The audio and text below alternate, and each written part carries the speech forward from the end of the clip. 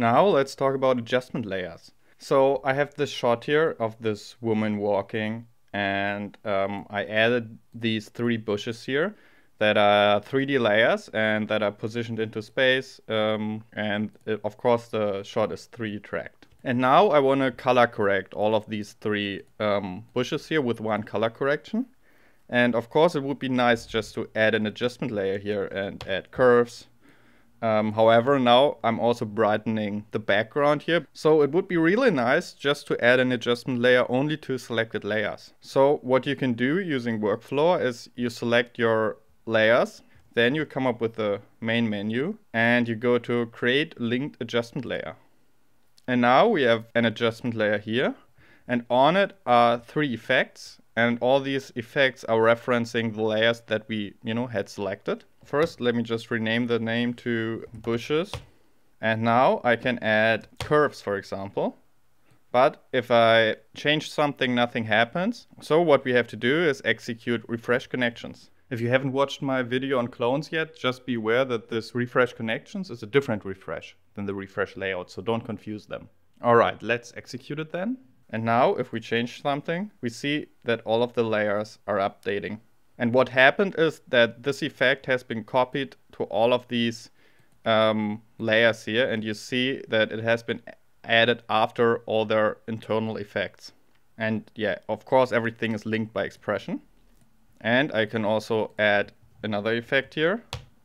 Hue and saturation. Of course, it's doing nothing as of now. Now I hit refresh connections.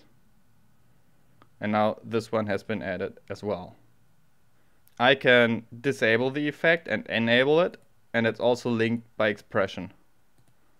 The same goes for the whole layer. So I can enable, disable it. Also, if I, of course, change up the structure here, I have to hit refresh connections again in order for that to update on the layers. Another thing, you can of course also adjust the opacity of all the contained effects up here. If you look at the transparency of the layer, it's always set to zero and there's an expression on it. However, you can similarly just reveal this opacity slider here by hitting reveal layer opacity. And then I can switch up that as well. let's say I want to add a new layer to it. So let if I duplicate that and hit refresh layout, the effect will disappear um, on that freshly duplicated layer. And let's say I move it around and I want to add like a new bush back there. And if I want to add this layer to our um, adjustment layer, I can just first select the layer I want to add, then the adjustment layer, and then execute add layer references. So it works exactly the same as you would add layers to a clone. You could also just, you know, work with these effects here. So I could delete that, for example, hit refresh connections. Then this layer here won't have an effect anymore.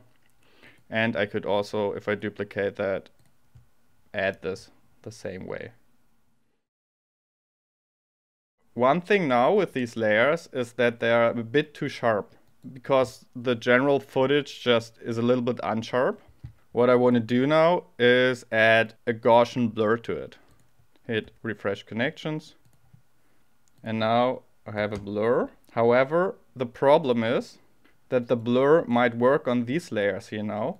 But this layer is way too sharp still because the blur amount is the same However, since it's further back, it won't appear as much. So the blur amount has to be much more for this one than for those. So what you can do with these effects, come up to the effects here, go to the Gaussian blur and select the property you want to be converted to comp size. Then I'm going to come up with a menu and this is only available via the menu. Hold on control or command and then click on convert property to comp size.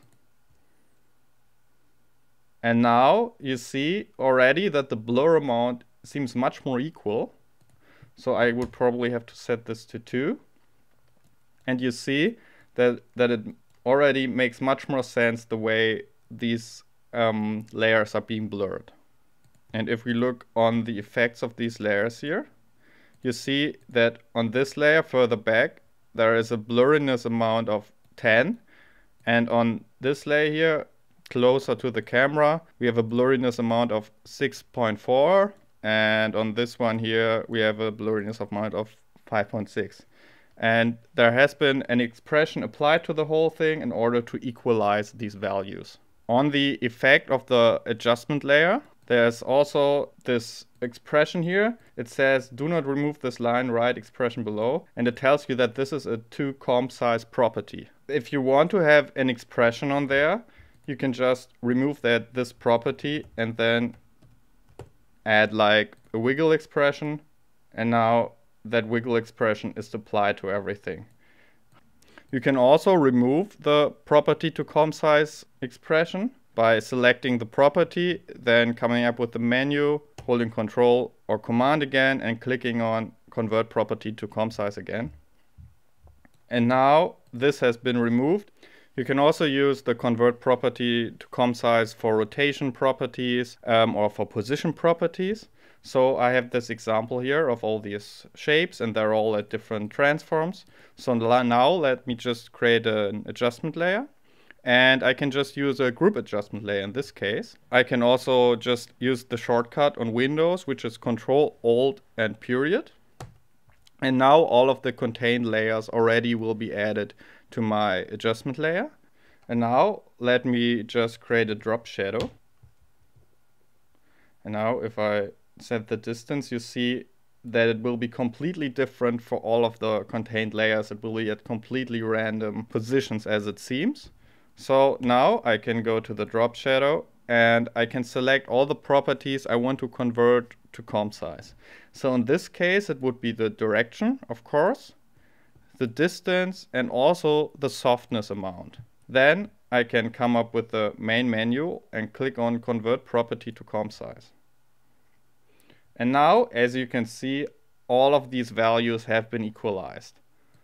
And I can change the distance, and everything will move, you know, at the right position.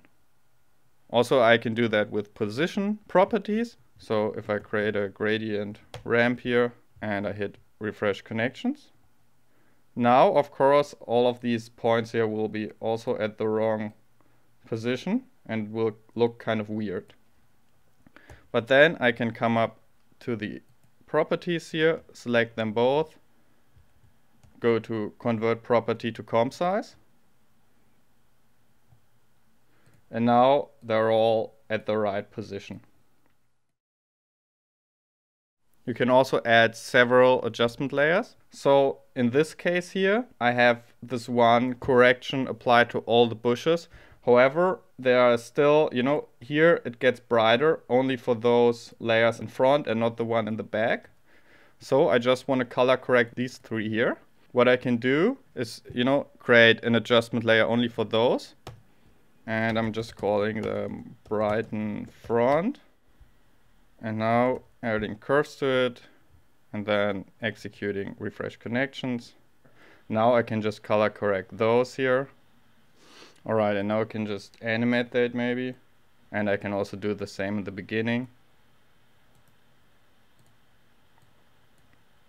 All right. I mean, of course, we all see it certainly doesn't work as a color correction like that, but you kind of get the point. I mean, this is what I'm trying to get at here. And the order of these adjustment layers here is important.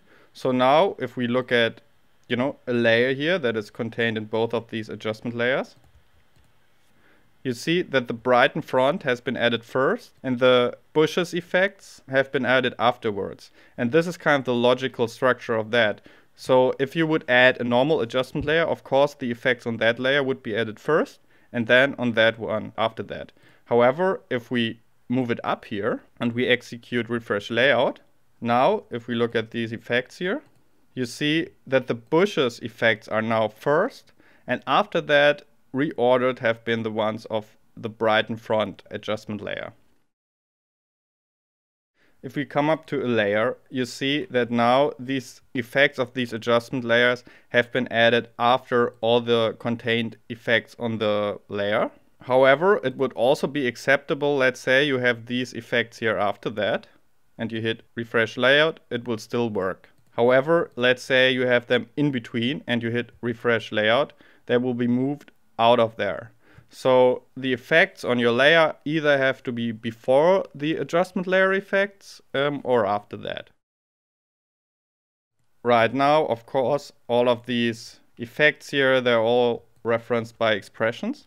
However, if I don't want that, I can uncheck link properties via expressions and hit refresh connections or just use the shortcut to unlink the properties. And now you see it has been unlinked. And if I look at the effects here of the bushes adjustment layer, you see that it now has been unlinked. And this, of course, uh, is something you can do after you worked on your effects and you need a better performance. If you want to work on that again, you know, just relink it. If you delete your adjustment layers, you will get these expression errors because of course there are still the effects of the adjustment layer that now cannot be referenced. So you would have to execute refresh layout after that and then they will be removed from your layers. But there's also a quicker way. Of course, you can just use the delete layer clone group function and now you won't have to hit refresh layout again. In the previous example, I already showed you a little bit about a group adjustment layer. So we can also, of course, do the same thing here. Just select our bushes, create a group, call that bushes. We can just add a group adjustment layer. And now, of course, if we would add a new layer to it, and now if we come up to the adjustment layer of the group, then if we hit refresh connections, it will be added to that. One thing that is different with adjustment layers as compared to clones is that if we are at one of the contained layers and we execute refresh connections, it will tell us that no corresponding clones have been found because when it comes to contained layers, this will only work with clones. So in this case, we would have to go to the adjustment layer itself and then hit refresh connections. Let's say I don't want this black solid here um, layer to be included in that. So I can just come up here and where the black solid layer has been added and I can just disable the effect and you already see that it's now being excluded. However, of course, the effect is still copied to it. If you don't want it to just execute refresh connections, now the effect cannot be found on the layer um, where the effect has been disabled here. If you want it to be included again, just enable it, hit refresh connections, and now it's already there. There's also a different mode of adjustment layers in Workflower, which is the matted adjustment layer. And the matted adjustment layer will just create a basic adjustment layer, an After Effects adjustment layer, and it will be matted to the selected layers. So what can this be useful for? The way that the linked adjustment layer works is that it applies effects to the layers. However, there's a certain order in which After Effects applies stuff to the layer. There are the effects and after that there's the blending mode or the motion blur for example. But this is not always the way I want the order to be. So let's say I'm compositing an element, I'm enabling the motion blur, but I also have to apply grain to it, you know, in order to make it work within the composite. And in this case, you can use a matted adjustment layer. So the effect will be applied after the motion blur will be applied. So here we have another example where I have this shadow here again. And as you can see, the black value of the shadow doesn't quite match the background. So this is brighter. So if I come up to my shadows here and I would apply curves and this layer here is set to multiply. So if I turn that up, so I match the black values, I'm also losing the magic of the transfer mode. So let's say I'm there, but I almost have no shadow left here anymore. I hope you can see that on your, your screen there as well. So what I can do then is go to my panel, hold on shift and click on create matted adjustment layer. Now it will have cloned this layer below using a clone and comp. And then I can apply my curves to that. And as you can see, I can just very easily try to match the black values. Something like that. And I will not have modified the effect of the blending mode in that case. When you add a matted adjustment layer to just one layer, it will always create a clone and comp. If you apply it to multiple layers, it will always create a pre-comp clone out of all of these layers. So one thing I encounter very often when working on a visual effect shot is that I have this base footage and I need it all the time for all kinds of stuff. To either create like a matte on top of something else so I can put the background element um, before like an object uh, that has to be, you know, in between. Or like in this case I have here where, you know, what we worked on, we want to create this bump map from, you know, our base footage and I'm working here and uh, now I have to go scroll down, you know, find the footage, then copy it, um, come up here and paste it. And sometimes there are even like some effects on it or some tracking data or something. Then I then have to delete again. And it's it's fine, but it just takes you know a little bit of time for something you do so often. So there's the store layer function now. And the way you work with it is you select your layer, then go to the menu and hold on shift and click on store layers. Now, if we look at the project, um, we see there's a stored layers folder here and we see that the footage has been copied inside of here. And then we can, you know, come up to, you know, the layer we want to paste it above, then come up with the main menu and click on paste stored layers. And now this layer has been pasted there, so it's kind of like an extended clipboard. And of course there is a shortcut. You can also just copy your footage by holding down Control Shift 6 and now it has been copied there and I can paste it by holding down Control Alt 6 or Control 6 on Mac and now I added that.